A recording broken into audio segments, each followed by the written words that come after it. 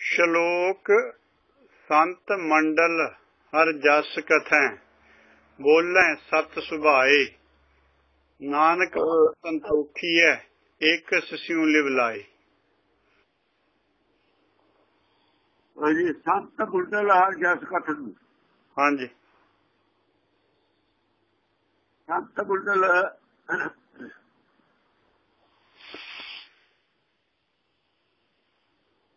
ਜਸ ਕਰਦੇ ਨੇ ਅੱਛਾ ਜੀ। ਸੰਤ ਗੁਰਦਲ ਦੇ ਵਿੱਚ ਹੀ ਹਰ ਜਸ ਕੀਤਾ ਜਾਂਦਾ ਹੈ। ਸਤ ਸੰਤੋਖ ਦਾ ਦਾਇਰਾ ਸੰਤ ਮੰਡਲ ਹੈ। ਅੱਛਾ ਜੀ।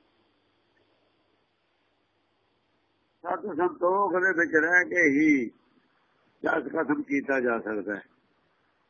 ਹਰ ਜਸ ਕਥਨ ਬੋਲਣ ਸੇ ਸੁਭਾਏ।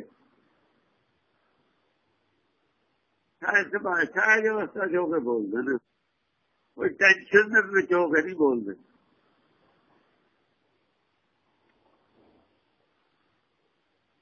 ਸਹਿਜ ਸੁਭਾਅ ਸਹਿਜ ਅਵਸਥਾ ਟਿਕੀ ਹੋਈ ਅਵਸਥਾ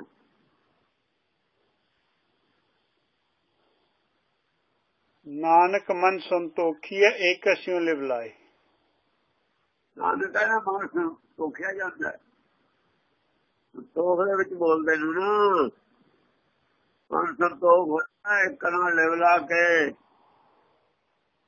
ਮਾਇਆ ਦੀ ਲਿਵ ਛੱਡ ਕੇ, ਮਾਇਆ ਨੂੰ ਟੁੱਟ ਕੇ ਕਸਾਂ ਲਿਵ ਆਪਣੇ ਮੂਲ ਨਾਲ ਲਿਵ ਕੇ ਨਾ, ਆਪਣੇ ਮੂਲ ਨਾਲ ਜੁੜ ਕੇ, ਆਪਣੇ ਆਪ ਨਾਲ ਜੁੜ ਕੇ, ਜੁੜੇ ਹੋਏ ਦਾ ਮਨ ਸੰਤੋਖਿਆ ਹੁੰਦਾ ਹੈ। ਸੰਤੋਖ ਤੇ ਬਿਨਾਂ ਸੰਤ ਮੰਡਲ ਨਹੀਂ ਬਣਦਾ, ਸੰਤ ਮੰਡਲ ਤੋਂ ਬਿਨਾ ਬੋਲਿਆ ਨਹੀਂ ਜਾ ਸਕਦਾ। ਠੀਕ ਹੈ ਪੌੜੀ। ਸਪਤਮ ਸੰਚੋ ਨਾਮ ਧਨ। ਟੂਟ ਨ ਜਾਏ ਭੰਡਾਰ। ਸੰਤ ਸੰਗਤ ਮੈਂ ਪਾਈਐ ਅੰਤ ਨ ਪਾਰਾਵਾਰ ਸਭ ਤੋਂ ਸੱਤਵੀਂ ਗੱਲ ਇਹ ਹੈ ਸੰਚੋ ਨਾਮ ਧਨ ਨਾਮ ਧਨ ਇਕੱਠਾ ਕਰੋ ਸੰਸਾਰ 'ਚ। ਅੱਛਾ ਜੀ। ਦੁਨਿਆਵੀ ਧਨ ਦੁਨਿਆਵੀ ਧਨ ਨੂੰ ਇਕੱਠਾ ਕਰਨ ਦੇ ਵਿੱਚ ਟਾਈਮ ਵੇਸਟ ਨਾ ਕਰੋ। ਇਹਦੀ ਨਾ ਕੰਮ ਹੋਣਾ ਕਿਤੇ। ਅੱਛਾ ਜੀ। ਇਹਦੀ ਨਾਲ ਜਾਣ ਵਾਲੀ ਚੀਜ਼ ਇਹਦਾ ਕੰਮ ਹੈ। ਹੂੰ। ਆਤਮਾ ਦੇ ਕੰਮ ਹੋਣ ਵਾਲਾ ਨਹੀਂ ਹੈਗਾ ਇਹ। ਸਭ ਤਮ ਸੰਚੋ ਨਾਮ ਤਾਨੂੰ ਟੂਟ ਨਾ ਜਾਹੀ ਧਾਰ ਹੂੰ ਇਹਦਾ ਭੰਡਾਰ ਚ ਟੋਟਾ ਹੁੰਦਾ ਹੀ ਨਹੀਂ। ਅੱਛਾ ਜੀ। ਜਿਸ ਦਾ ਭੰਡਾਰ ਕਦੇ ਵੀ ਖਤਮ ਹੋਣ ਵਾਲਾ ਹੈ ਹੀ ਨਹੀਂ। ਐਸਾ ਭੰਡਾਰਾ ਆਂਦਾ ਜੀ ਕਦੇ ਟੋਟਾ ਹੁੰਦਾ ਹੀ ਨਹੀਂ ਘਟਦਾ ਹੈ ਹੀ ਨਹੀਂ ਕਵੀ ਨਹੀਂ ਹੈ ਚਾਹੁੰਦੀ ਚਾਹੀ ਭੰਡਾਰ ਸੰਤ ਸੁਗਤ ਮੈਂ ਪਾਈਏ ਅੰਤਨ ਪਾਰਵਾ ਇਹ ਭੰਡਾਰ ਦੀ ਪ੍ਰਾਪਤੀ ਕਿੱਥੋਂ ਹੁੰਦੀ ਹੈ? ਸੰਤ ਦੀ ਸੁਗਤ ਵਿੱਚ ਹੂੰ ਸੰਤ ਦੀ ਸੰਤ ਨਾਲ ਜੁੜ ਕੇ ਗੁਰਮੁਖਾਂ ਨਾਲ ਬਹਿ ਕੇ ਇਹ ਹੋ ਕੇ ਉੱਥੇ ਪ੍ਰਾਪਤੀ ਹੁੰਦੀ ਹੈ ਗੁਰੂ ਘਰ ਚ ਹੁੰਦੀ ਰਹੀ ਹੈ। ਅੰਤਨ ਪਾਰਾਵਾਰ ਕਿੰਨਾ ਪ੍ਰਾਪਤੀ ਹੋ ਜਾਂਦੀ ਹੈ ਕੋਈ ਦੱਸਿਆ ਨਹੀਂ ਜਾ ਸਕਦਾ। ਇੰਨੀ ਪ੍ਰਾਪਤੀ ਹੋ ਜਾਂਦੀ ਹੈ ਅੰਤ ਪਾਰਾਵਾਰ ਨਹੀਂ ਦਿੰਦਾ। ਅਥਾ ਗਿਆਨ ਪ੍ਰਾਪਤ ਹੋ ਜਾਂਦਾ ਹੈ। ਅਥਾ। ਹਾਂਜੀ। ਆਪ ਤਜੋ ਗੋਬਿੰਦ ਭਜੋ ਸ਼ਰਨ ਪਰੋ ਹਰ ਰਾਏ ਦੁਖ ਹਰੈ ਭਵ ਜਲ ਤਰੈ ਮਨ ਚਿੰਦਿਆ ਫਲ ਪਾਏ। ਆਪ ਤਾਂ ਜੋ ਗੋਬਿੰਦ ਭਜੋ ਜਿਹੜਾ ਜਿਹਨੇ ਆਪਣੀ ਮਰਜ਼ੀ ਛੱਡੀ ਹੋਈ ਹੈ ਉਹ ਗੋਬਿੰਦ ਆਪਣੇ ਮੂਲ ਨਾਲ ਜੁੜਿਆ ਹੋਇਆ ਹੈ। ਉਹ ਸਮਝੋ ਗੋਬਿੰਦ ਜੁੜਿਆ ਹੋਇਆ ਭਜੋ ਦਾ ਮਤਲਬ ਜੁੜੋ।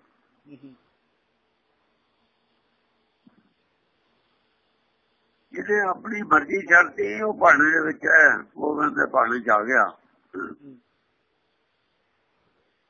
ਸਾਰਨ ਪਰੋ ਹਰਾਏ। ਬੜੀ ਮਰਜ਼ੀ ਤਿਆਰ ਕੇ ਗੋਬਿੰਦ ਨਾਲ ਜੁੜ ਕੇ ਉਹਦੀ ਛੱਡ ਚਾਜੋ ਉਹਦੀ ਆਗਿਆ ਚਾਜੋ ਹੁਕਮ ਦੇ ਵਿੱਚ ਚੱਲੋ, ਭਾਣੇ ਚੱਲੋ।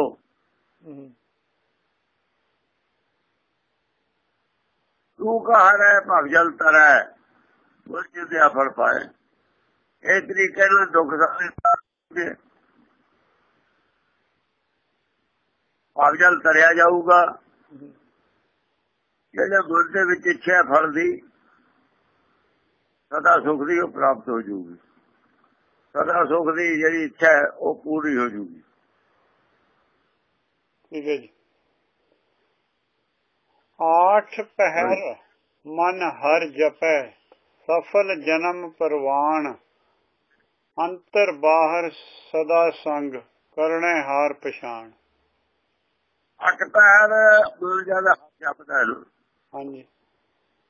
ਜਿਹੜਾ ਮਨ ਅੱਠੇ ਪੈਰ ਜੀਵ ਹਰ ਨੂੰ ਜਪਦਾ ਰਹਿੰਦਾ ਹੈ ਵਿਚਾਰਦਾ ਰਹਿੰਦਾ ਹੈ। ਹਾਂਜੀ। ਗੁਰਬਾਣੀ ਦੀ ਵਿਚਾਰ ਕਰਦਾ ਰਹਿੰਦਾ ਹੈ। ਜਨਮ ਸਫਲਾ ਹੈ ਉਹ ਜਨਮ ਦਰਗਾਹ ਪ੍ਰਵਾਨ ਹੈ ਉਹਦਾ ਸਫਲਾ ਜਨਮ ਹੋ ਜਾਂਦਾ ਹੈ ਪ੍ਰਵਾਨ ਦਰਗਾਹ 'ਚ ਹੋ ਜਾਂਦਾ। ਪ੍ਰਵਾਨ। ਅੰਤਰ ਬਾਹਰ ਸਦਾ ਸੰਗ ਕਰਨੇ ਹਨ।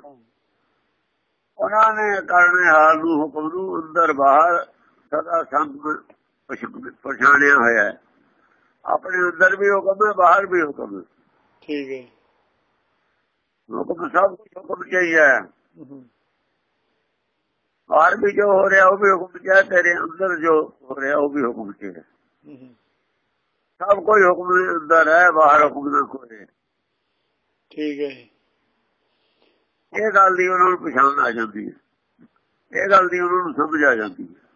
ਹਾਂਜੀ। ਸੋ ਸਾਜਨ ਸੋ ਸਖਾ ਮੀਤ ਜੋ ਹਰ ਕੀ ਮਤ ਦੇ ਨਾਨਕ ਤਿਸ ਬਲਹਾਰਣੈ ਹਰ ਹਰ ਨਾਮ ਜਪੇ।